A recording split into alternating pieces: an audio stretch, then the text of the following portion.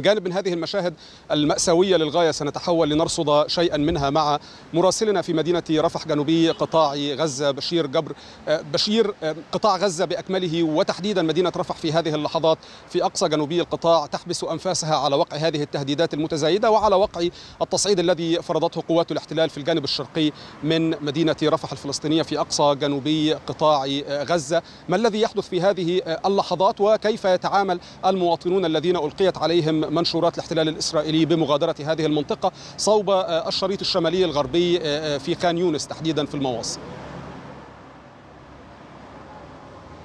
تحية لك أحمد. يعني ما يجري بالفعل هو استمرار لحالة النزوح للسكان الفلسطينيين من المناطق الشرقية لمدينة رفح باتجاه المناطق الغربية وتحديدا منطقة المواصي التي تقع إلى الشمال من مدينة رفح امتدادا إلى بلدة دير البلح في المحافظة الوسطى. هذه المنطقة التي حددتها إسرائيل بأنها منطقة آمنة لا يزال يتدفق إليها النازحون الفلسطينيون من المناطق الشرقية لمدينة رفح رغم حالة النزوح الكبيرة. لا زالت أيضا طائرات الاحتلال الإسرائيلي تشن عدد كبير من الغارات العنيفة والمتتالية باتجاه المناطق الشرقية لمدينة رفح وأحيائها ولا زالت سيارات الإسعاف تقوم بنقل المصابين والشهداء إلى هذا المستشفى مستشفى الكويت التخصصي في مدينة رفح لتلقي العلاج هنا.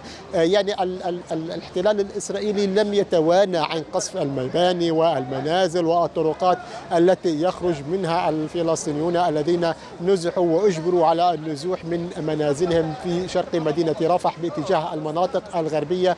أيضا يرافق هذا القصف من الطائرات كذلك قصفا من الآليات العسكرية الإسرائيلية والمدفعية المتمركزة إلى الشرق من قطاع غزة والتي كثفت في هذه الأثناء من قصفها بشكل عشوائي باتجاه منازل المواطنين. وممتلكاتهم في محيط المنطقة الشرقية لمدينة رفح. حي الشوكة وحي السلام ويعني تلك المناطق والأحياء وبالقرب من مطار غزة الدولي المهدم.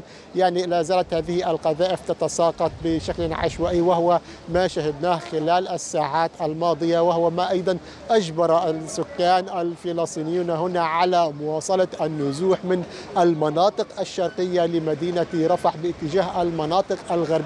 علها تكون مناطق آمنة كما يدعي الاحتلال الإسرائيلي وهو يعني ما حدث ويكرر المأساة التي حدثت مع الفلسطينيين ويذكرنا بالأيام الأولى للعدوان حينما نزح الفلسطينيون من شمال قطاع غزة ومن مدينة غزة باتجاه المناطق الجنوبية اليوم المشهد ذاته يتكرر في المناطق الشرقية لمدينة رفح باتجاه الشريط الساحلي الغربي لهذه المدينة وتحديدا منطقة المواصي إلى الغرب من مدينة خان يونس.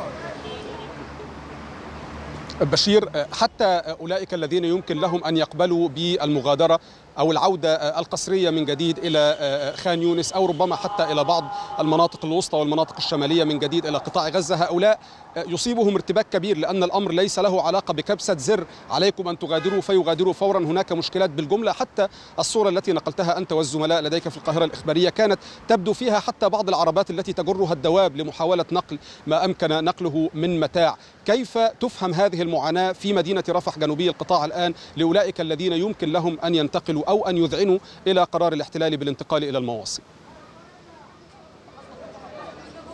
يعني بداية هذا الأمر بدأ منذ ساعات الليل حينما بدأت إسرائيل بالقصف العنيف باتجاه المناطق الشرقية لمدينة رفح مستهدفة أكثر من 11 منزلا في تلك المنطقة. حتى ساعات الصباح لم تتوقف تلك الغارات من الطائرات الحربية الإسرائيلية ومن ثم بدأت تتوالى الاتصالات على المواطنين الفلسطينيين بضرورة الإخلاء ومن ثم تساقطت المنشورات عليهم وبالتالي لم يتبقى أمامهم المزيد أو سوى وقت قليل للخروج واتخاذ هذا القرار الصعب بأن تترك كل شيء خلفك وتخرج يعني لمناطق قد يحددها الاحتلال الإسرائيلي بأنها منطقة آمنة وبالتالي لم يستطع الفلسطينيون الحصول على كل متاعهم. هم أخذوا القليل القليل من أمتعتهم وبدأوا بالخروج وخصوصا عندما بدأت الغارات الإسرائيلية مجددا في أثناء صبيحة هذا اليوم ومع ساعات الظهر بالقصف المستمر باتجاه المنطقة الشرقية هو ما اضطر هؤلاء الفلسطينيين ل